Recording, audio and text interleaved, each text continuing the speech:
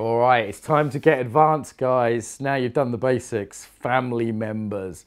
Oh my fucking God. So this is advanced level. Parents, uh, kids will do in a different video, siblings. Why is it advanced level? You care about these people. Even if you hate them, you care about them, okay? And you've often got history with them. Like think about how much history I've got with my sister. 40 years of history. She's been around since I was a baby. It's complicated. There's baggage there, right?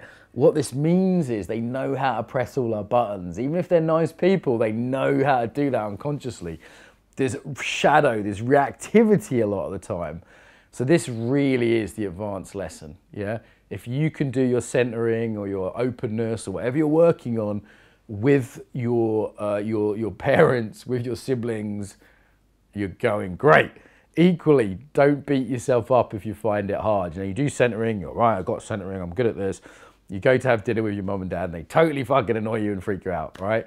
Okay, or you get, oh, you love them so much, you want to help them and they won't listen to you, right? This is the same stuff. So cut yourself some slack. That is the advanced level. Uh, equally, it's a great place to practice, all right?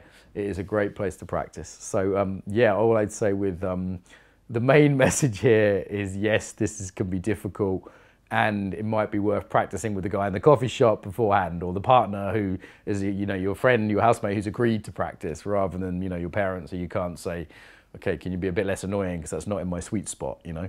So um, yes cut yourself some slack. This is the this is the real game and if you if you're applying your embodiment skills to those relationships you are winning